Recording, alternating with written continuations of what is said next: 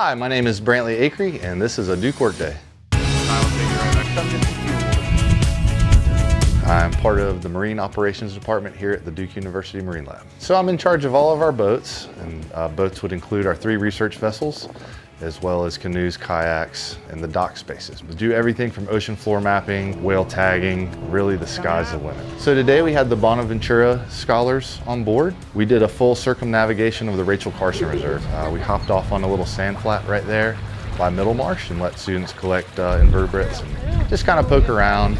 They're so inquisitive and they're so eager. And we get a lot of people that have never been in an environment like this. And I find that to be the most rewarding. Trips like we did today, those happen most often. In the summertime, we do a lot of beaked whale work up off Hatteras. The research trips on our bigger boats, a little more in depth. Uh, those generally range five to seven day trips, up to 30 day trips on those. Uh, we go all up and down the eastern seaboard. Got my captain's license about eight years ago. I've always loved the water, being on the water spending time around the water. So it was a kind of a natural progression for me. You never know what you're gonna be doing day to day. There's so many different things. I'm surrounded by people that are so intelligent and passionate in their own right. It just feels like where I belong. I, I don't know how else to word it.